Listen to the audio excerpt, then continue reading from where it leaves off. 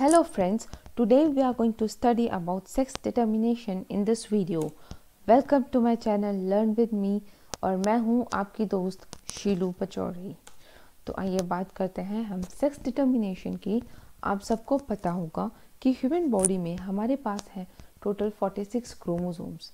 and these 46 chromosomes are present in pairs तो कितने pairs बनेंगे? 23 पेयर्स ऑफ़ क्रोमोसोम्स बनेंगे।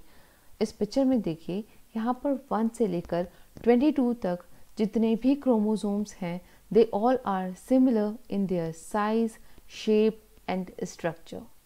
they all are similar सारे पेयर्स एक दूसरे से सिमिलर हैं। इसलिए हम इनको कहेंगे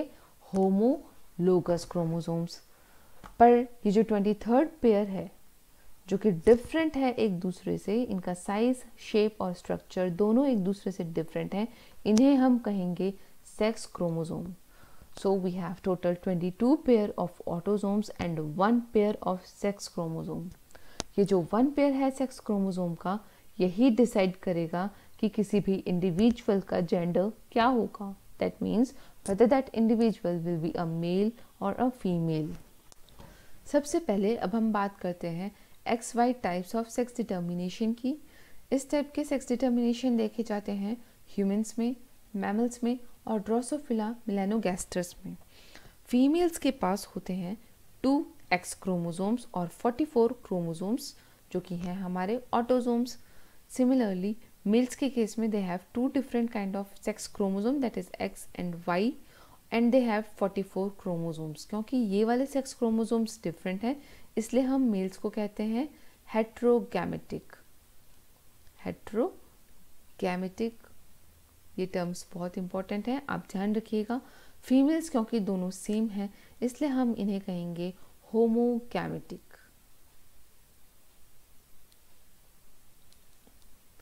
जब गैमेट्स का फॉर्मेशन होगा तो ये दोनों क्रोमोसोम्स एक दूसरे से सेपरेट हो जाएँगे और इंडिविजुअली गैमेट्स में ट्रांसफ़र होंगे। तो फीमेल्स अब दो अलग अलग काइंड के गैमेट्स बनाएँगे और दोनों के अंदर होंगे एक्स क्रोमोसोम्स और एक्स क्रोमोसोम्स हर ओवा के अंदर टोटल 23 क्रोमोसोम होगा, जिसके अंदर होंगे 22 ऑटोजोम्स और one sex chromosome same thing यहाँ पर भी है 22 हैं ऑटोजोम्स और वन सेक्स क्रोमोसोम है, जो कि है एक्स मेल का केस थोड़ा डिफरेंट होगा, क्योंकि ये हेट्रोगैमेटिक है, इसलिए ये दो अलग अलग टाइप के गैमेट्स बनाएगा। कुछ स्पम्स ऐसे होंगे जिनके हो, अंदर होंगे एक्स क्रोमोसोम्स जो कि अराउंड 50 परसेंट होंगे और 50 परसेंट स्पर्म्स ऐसे होंगे जिनके अंदर ट्रांसफ़र होंगे ये वाले वाई क्रोमोसोम्स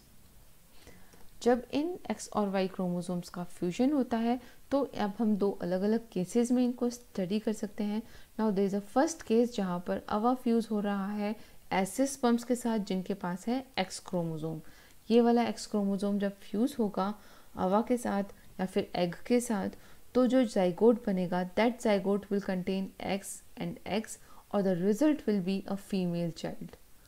female क्यों? क्योंकि फीमेल्स के पास होते हैं एक्स और X chromosomes this is the second case जहाँ पर एग फ्यूज करेगा. ऐसे स्पम्प्स के साथ इन स्पम्प्स के साथ जिनके पास है वाई क्रोमोसोम्स तो जब ये दोनों कंबाइन होंगे तो बनेगा एक्स एंड वाई और ऐसे जाइगोट डेवलप होते हैं इनटू अ मेल चाइल्ड क्योंकि एक्स वाई किन का साइन है या फिर एक्स वाई क्रोमोजोम्स किसके पास प्रेजेंट होते हैं? मेल्स के पास। अगर आप इनको पुनेट स्क्वायर में रिप्रेजेंट करें तो उस तरह से भी आपको इजीली अपना आंसर मिल जाएगा। पुनेट स्क्वायर में एक साइड में हम लिख देते हैं मेल के क्रोमोजोम्स को और दूसरी साइड में हमने लिख दिए हैं फीमेल के क्रोमोजोम्स को। जब ये वाले गैमेट्स ऐसे गैमेट्स के साथ फ्यूज करेंगे जिनके पास है एक्स और एक्स तो जहाँ भी एक्स एक्स होगा the result will be a female child now this is the another case where this X chromosome और will this gamete will fuse with that gamete which is bearing a Y chromosome ऐसे ऐसे child develop होंगे males में. This X will combine with this X and the result will be a female child अगर ये gametes fuse करेंगे Y वाले gametes के साथ या फिर ऐसे गैमेट्स के साथ जिनके पास है वाई क्रोमोजोम तो बनेंगे मेल्स आप देख सकते हैं यहाँ पर दोनों केसेस में जितने भी ऑफ़िस स्प्रिंग्स होंगे they all will be male और यहाँ पर जितने भी ऑफ़िस स्प्रिंग्स प्रोड्यूस होंगे they all will be female so there is 50% chance that the uh, offspring will be a female and a 50% chance that the offspring will be a male in the case of human beings the second case is of X0 type of sex determination. This case is of male heterogamy. यहाँ पर mails दो अलग अलग type के gametes produce करते हैं और इसका बेस्ट एग्जांपल है ग्रास हॉपर ये है फीमेल ग्रास हॉपर और ये है male grasshopper female grasshoppers produce करते हैं टू एक्स क्रोमोजोम्स और twenty two autosomes whereas in the case of males ये प्रोड्यूस करेंगे 22 ऑटोजोम्स और एक्स क्रोमोजोम इसको मैं और अच्छे से आपको समझा दूँ। मेल्स प्रोड्यूस करते हैं दो अलग अलग टाइप के गैमेट्स को। कुछ गैमेट्स ऐसे होंगे जिनके पास होगा एक्स क्रोमोजोम्स और बाकी होंगे 22 ऑटोजोम्स वहीं दूसरी तरफ़ कुछ स्पम्स वो ऐसे प्रोड्यूस करेगा जिसके अंदर कोई भी एक्स क्रोमोजोम नहीं होगा, उनके पास सिर्फ़ होंगे ऑटोजोम्स तो कंफ्यूजन ना हो, इसलिए हम इसको ज़ीरो से रिप्रेजेंट कर देते हैं। अगर हम इनको क्रॉस को समझना चाहें तो हम ले सकते हैं हेल्प पुनेट स्क्वायर की। इस पुनेट स्क्वायर के एक साइड में हम लिख देंगे मेल की कैमेज को जो है एक्स एंड ज़ीरो दूसरी साइड में हम लिखेंगे फीमेल कैमेज को जो है एक्स एंड एक्स नाउ अगर ये फीमेल गैमेट फ्यूज़ करेगा ऐसे मेल गैमेट्स के साथ या फिर ऐसे स्पम्स के साथ, जिनके पास हैं एक्स क्रोमोसोम्स तो the result will be X X और ऐसे फ्यूजन के बाद जो जाइगोट डेवलप होंगे that will develop into a female offspring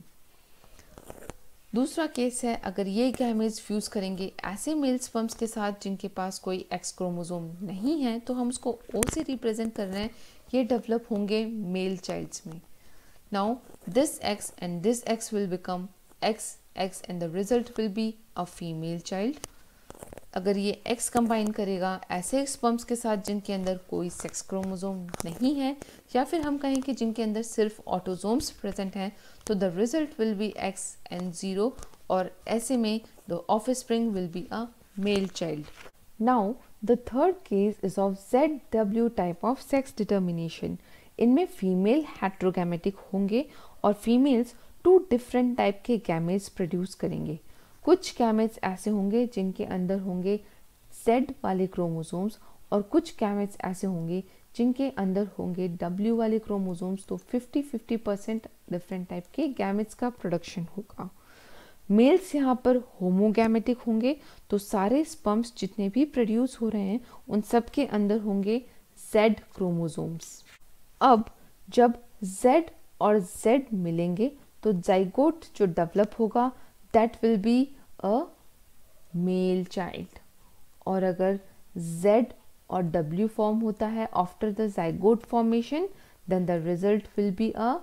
female child और इसका बेस्ट एग्ज़ाम्पल है birds, hens, etc.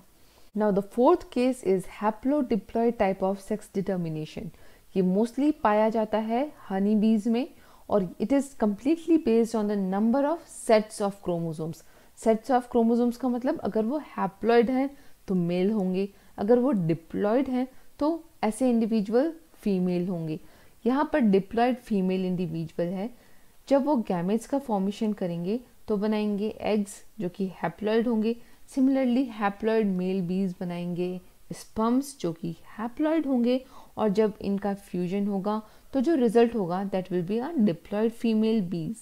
haploid gametes fuse करके डिप्लॉयड इंडिविजुअल्स प्रोड्यूस करेंगे। और जहाँ भी फर्टिलाइजेशन होगा, उसके रिज़ल्ट से जो इंडिविजुअल प्रोड्यूस होंगे that will be a female child